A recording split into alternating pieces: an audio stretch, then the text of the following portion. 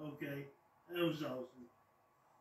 Um, I know it takes a lot of energy to speak and things, but I do know you guys have been around here.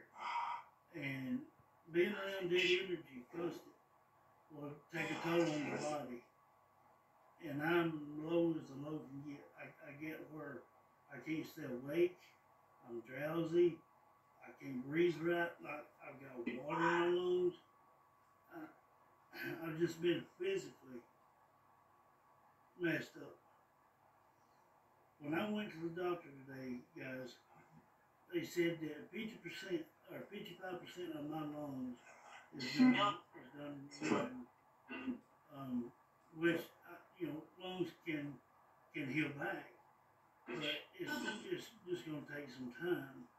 And with me losing that, it's keeping me with no, not enough oxygen to the brain and things like that. It's keeping me sleepy, drowsy, and me and Miss uh, Miss Carol, uh, we spoke on that uh, quite extensively last night, and uh, she's been having sort of the same symptoms on account of they're going to her, hanging around with her, and what, anybody, I don't care who you are, He's energy can take a toll on your body.